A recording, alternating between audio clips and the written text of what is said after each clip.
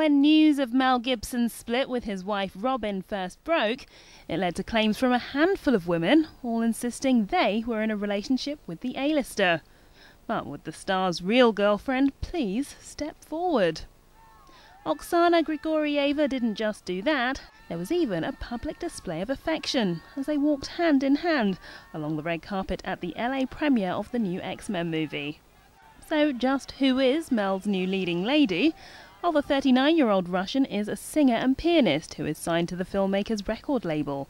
She has a 12 year old son with former Bond star Timothy Dalton, and it's thought she was the mystery brunette Mel was seen with at his Costa Rican home. And why shouldn't the Lethal Weapon star show her off? Well, according to his spokesman, in a statement, he said Mel has been single for almost three years and reckons it's nice to see him getting out and enjoying himself. But the 53 year old is in the middle of what could be one of the most expensive celebrity divorces, beating even that of Michael Jordan. As with an estimated £640 million fortune and no prenup, his soon to be ex, Robyn, stands to get half.